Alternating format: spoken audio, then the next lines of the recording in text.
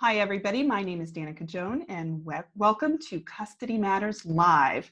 This is a special edition because, uh, of course, all of the uh, coronavirus uh, conversations, the isolation, and everything like that, um, this is something that we're going to address. And I have a very special guest with me, and we're going to talk about this. I have Dr. Mark Roseman. Welcome. Hello, everybody. Hi, Danica. Thank you for having me. Yeah, this is this is an interesting time that we live in because there's been so much focus on coronavirus, and I don't want to just continue to focus more and more about it, but it's definitely impacted our conference. Our conference that we're having April 24th and 25th um, has create we we have recreated it or creatively adjusted to the circumstances um, so that you know the most important thing that our speakers and our whole planning team have is you know we're a stand that families that of equal shared parenting and making sure that children have a loving relationship with both parents and that's what we're stand for. So of course it's not an option to just eliminate this conference. It is not a, a, conference about widgets. This is a conference about lives and the future of children and their parents. So um, I've got Dr. Mark Roseman, and I'm going to have him share a little bit about what he's going to be talking about. But before that, I'm sure you're all curious what is the newly created uh, um, conference going to look like. So, uh, surprisingly, we're going to have it as a virtual conference. It's going to look like we're going to have, I, I've got to really, I've got about a month to put this all together, but we're going to have each of the speakers deliver their content uh, just in the same structure as the conference was designed April the 24th uh, from 8 to 5.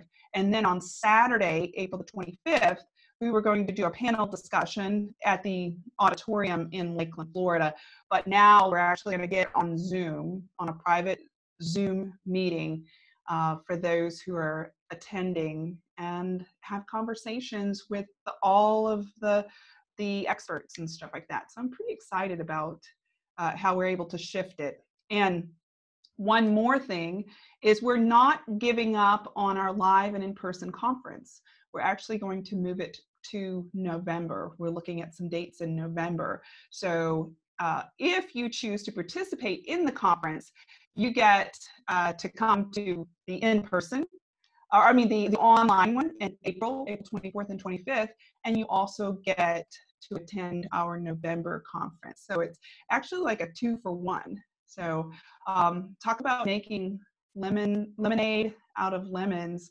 That's um, that's our attempt because um, we are unstoppable for the cause of children. All right, Mark, would you like to contribute? Um, shall I send you a blank check? I'm, uh, I, I, I think that. Thrilled.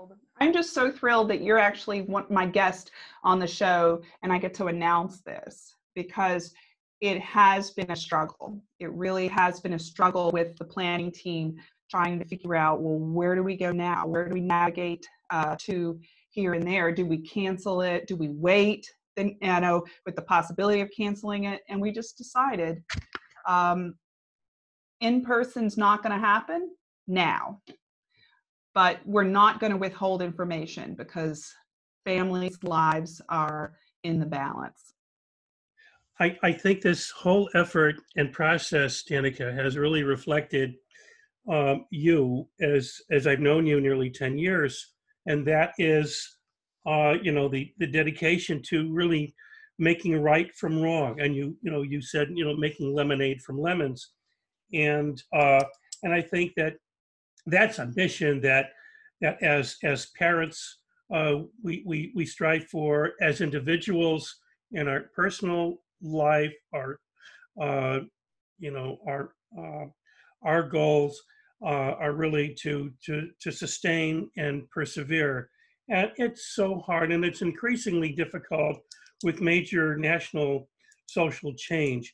But I think what you've done with this conference has been very uh, uh, has been has been unique because the, the the the time requires a unique response, but also giving added value, which everyone should really uh, and I, I, think find very uh, very valuable because the uh, the ability to have access still to those with very important uh, messages relating to co-parenting, shared parenting, and uh, family court and parental alienation, and, and, and having perspective of life today uh, within now the set of challenges that that present us uh, both from the uh, the health and public policy uh, status and the political changes.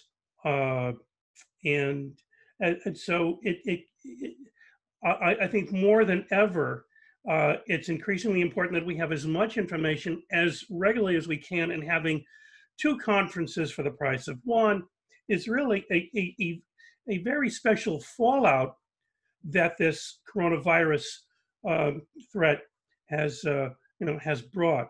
And your determination to con- maintain connection with those who can most benefit uh, from all of the uh, of these very important speakers uh, and presentations uh, to later in the fall having a much more personal uh, opportunity to become even more focused on potential answers and potential changes in the way that we live, in the way that we relate with our children, the way that policyholders will uh, adapt to uh, social change, I think is really critical. So I think that uh, this is this really is making lemonade from lemons.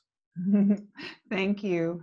Yeah, you know, it is. It's going to be. It's the next few weeks are going to be a challenge because we're asking the speakers, um, the workshop leaders, to actually to do double duty. We're trying to capture their presentations and uh, create it and deliver it in a format that's, uh, um, you know, that has freedom and ease and flows well for you, but also uh, to ask them all to come back in November. And I'm just, I'm so humbled that uh, with, the, you know, the generosity of our speakers and and our planning team because um, nobody's getting paid here.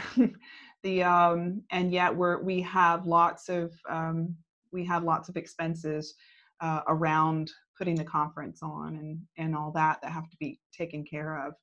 Um, what else I was going to say? Oh, and you know what? Another thing that's good is by November they'll have we will have the presidential election. There's a lot of water that's already going to go under the bridge by November, so there'll actually be some interesting uh, developments I think in the conference that have in November versus the one that's presented in a few weeks on in April.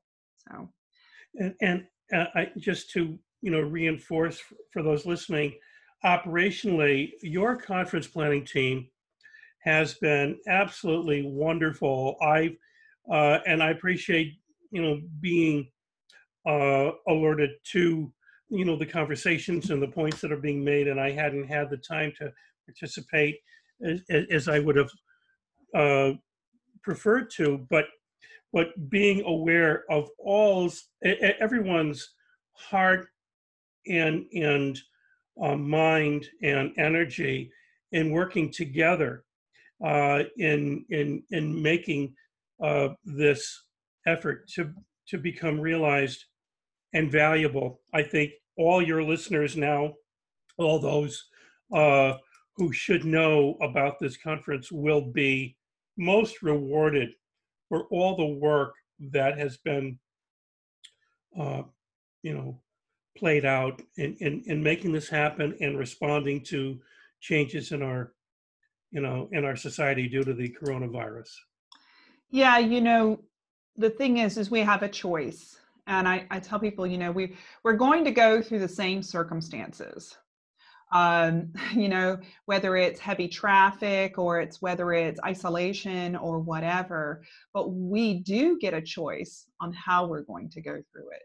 Uh, we can go through it with with anxiety and fear and anger and all of those things, or we can uh, go through it and just stop. You know, part of it's the resistance of what's so that has us you know just you know just like just like uh, i hate to use an analogy of the flu but um you know when i've had the flu in the past it makes it when i am resisting that that those feelings and stuff like that when it actually has worse impact.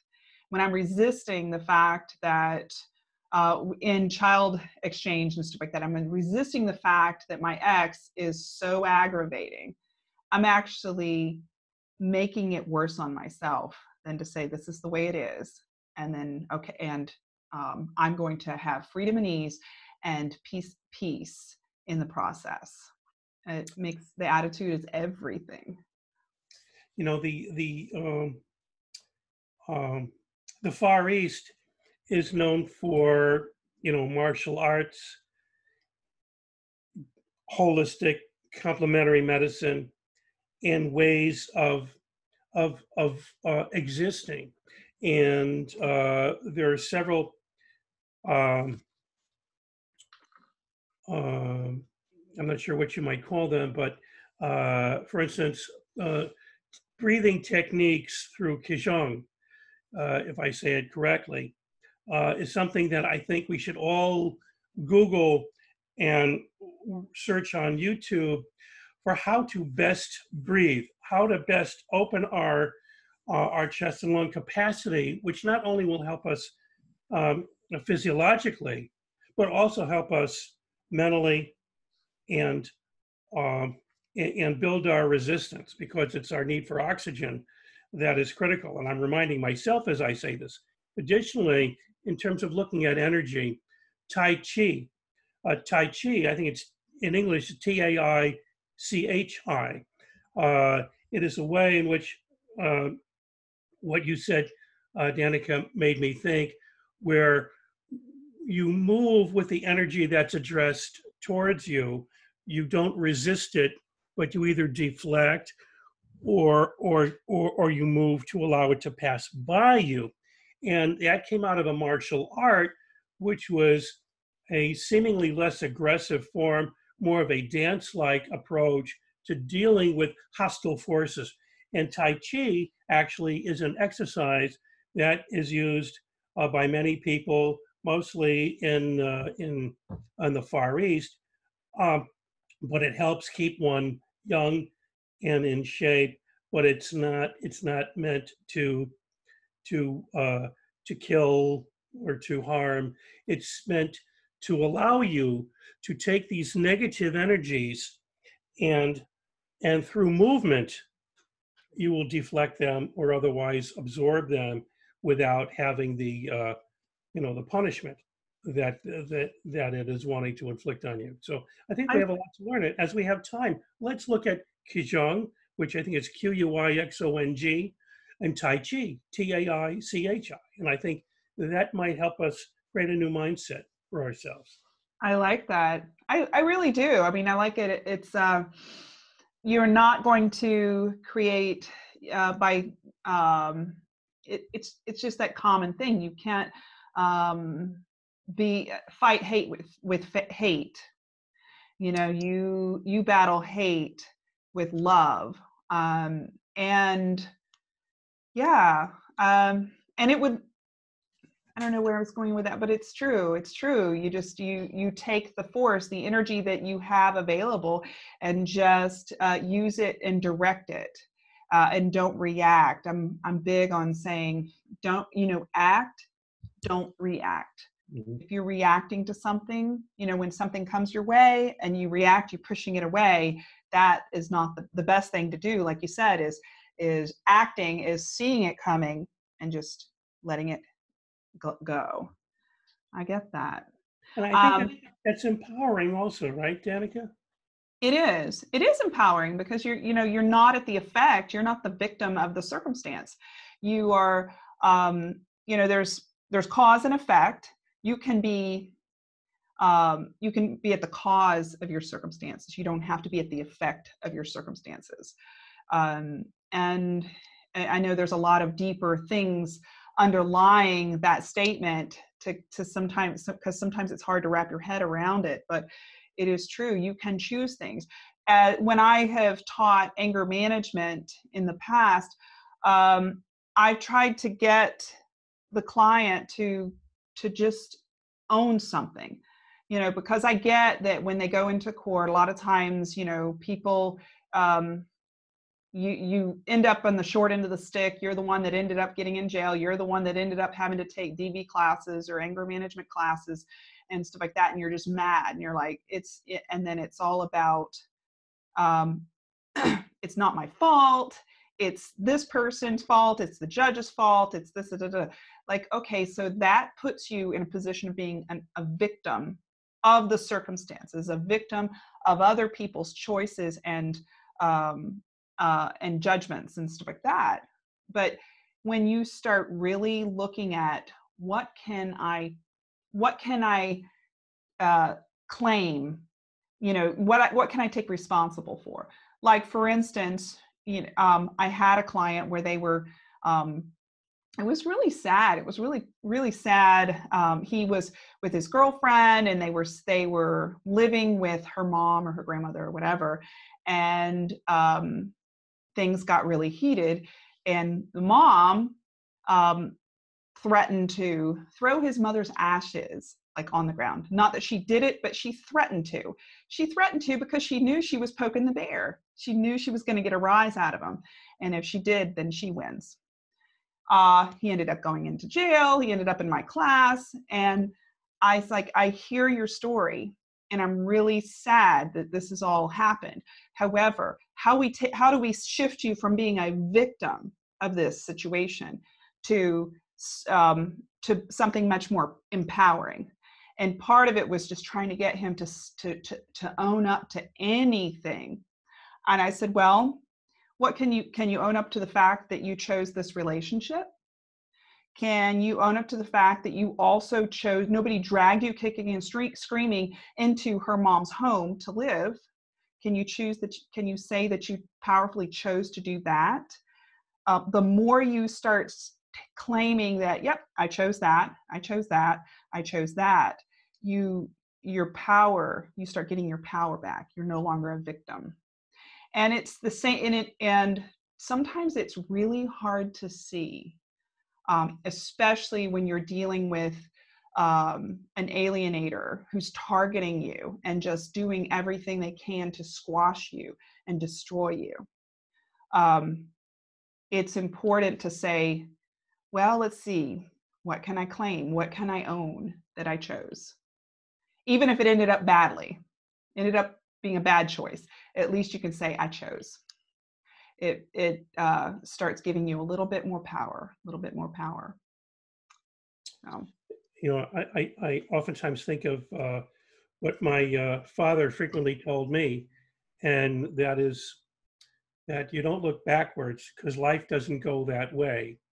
But if we can take uh, so that was sidney roseman you don't look backwards because life doesn't go that way. My father was a product of the depression you know, a veteran of uh, World War II and uh, and very anti-Semitism.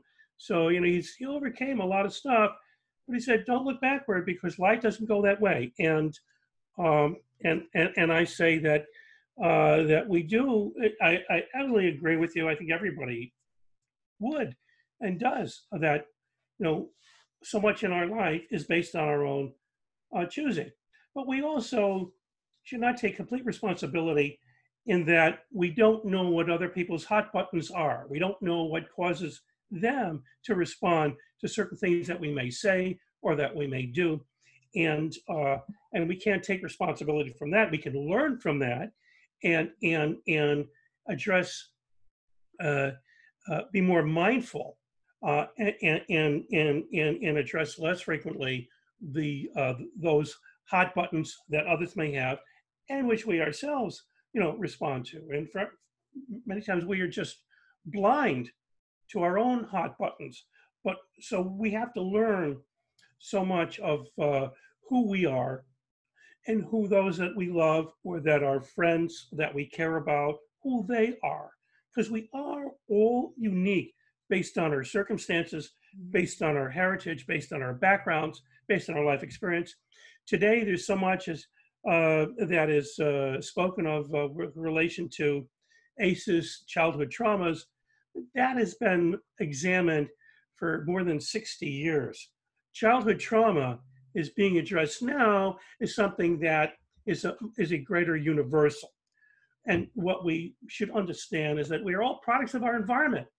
And, uh, and I often will quote Karl Menninger, who uh, was one of the most forthcoming, uh, forward thinking pioneers in child psychiatry. And he said, What children see at home, they will do to society. And I think that if there's any rule to live by, then that's that observation. What children see at home, they will do to society. Create the environment, help your child make choices, empower your child, help them learn about themselves as they develop, uh, have them become more conscious of what, what they are saying, what they are doing, understanding why, so that they can become much more empowered in, in their own behavior and in, in making even more magnanimous choices that are uh, going to affect their lives and perhaps impact others. Uh, but they will learn from you. And so, as a parent, as a grandparent, as an aunt and an uncle, you know, our extended family is so critical. And if we are blessed to have access to all of these members of such a family structure, from the parents, the bio parents, aunts and uncles, extended family, grandparents, uh, all of us who have those multiple roles should be mindful of how we relate to to these children you know in our family. That may not be our own children but they may be our grandchildren they may be our nieces and nephews they may be um, you know uh, related in in other ways uh, we have responsibilities. You know you pointed out it's truly you know how they how things happen in your home will end up bleeding over into society and how people um, how adult children end up dealing with their their spouses and their own children. It's just and of course society as a whole i think that you know we all have um, trauma from our childhood in some fashion it may be something where they got lost at the store you know and their parent couldn't find them for a couple hours you know that that can really be a trigger when you're a little seven year old or whatever. It made me think of an incident. but it, it's like um, you you can't uh, you can look at these situations and you can say okay i recognize them. I see um, how it can it impacts me. I can see how it impacts uh, my my decisions. And just being aware of it gives you the power to choose that or not that. Uh, and you've got, and being careful not to live in that what if world. Um, the what if world will have you um, accidentally making choices um, in the wrong direction. It, you know, it, it's whether it's, um, you know, the, the current state of affairs of, oh my gosh, what if this and what if that? Um, and then now you're like oh, like the toilet paper thing. Oh my gosh, what if? Oh my gosh, what if I don't have any access to the toilet paper? So I'm going to take it all. Next thing you know, the people who really need it are um, are impacted by your your what if fears. Um, and same thing with the children. A lot of times we we want to protect the children, and sometimes we want to overprotect them. Um, maybe even, and then that impact because maybe it is that you grew up in abusive or neglectful environment growing up. So then when you become a parent, you're like, I do not ever want my children to experience what I went what I went through. So I'm going to overprotect. I'm going to, you know, uh, I'm going to live in fear and overprotect and stuff like that. Next thing you know, the re- the the impact on the children is, oh my God, I feel so suffocated. Stop. You know, like it. We have to be careful we're not reacting and living in a what if world. Yes Yes, and and in fact, I I love that phrase. I just wrote that down, Danica. I think it's, Mhm. uh, I I think I think that's a blog post you should write. Mhm. Uh, the what if world. I think in it's uh, or the title of your next book. Uh, Yeah. The what if, the what if world. I think that's really wonderful because, uh, it, you know, it, it's like uh, you know Franklin Roosevelt, pr- former president, um, wartime president from World War II period and, and, and helped bring this, this country out of the depression. He said that uh, there's nothing to fear but fear itself, if, if that's the correct quote. And, um, uh, and, and it's, he's really referring to the unknown. What, what we know, no matter how devastating, is it, it, it allows us to uh, have have a reality that mm, i- indeed can be extremely frightening and foreboding, but we know what that foreboding is. You know, we know what is frightening, uh, and um, and oftentimes it's uh, you know we have experiences where uh, we may uh, uh, have a lot of fear. For instance, going to a doctor's office. Uh, if you remember as a kid and you're fearing getting a shot, maybe you don't get a shot. You come out of the doctor's office and I feel terrific. I didn't get a shot today. Uh, or you had a shot and he had you look the other way and he said it's done. And you're waiting to feel it and you didn't feel the pinch. Uh, but there are other circumstances where we have fears based on what we think, not based on realities. And this is much of life, and it's it, and it's very reasonable to be afraid of, of what we don't know. Absolutely. And if, I think there's nothing more fearful and in fact, that's what Roosevelt had said, Franklin Roosevelt. He said, uh, uh, what we have to fear is fear itself. And, um, and so that means truth allows us to think of, okay, plan A, plan B, plan C. And we have to deal with realities.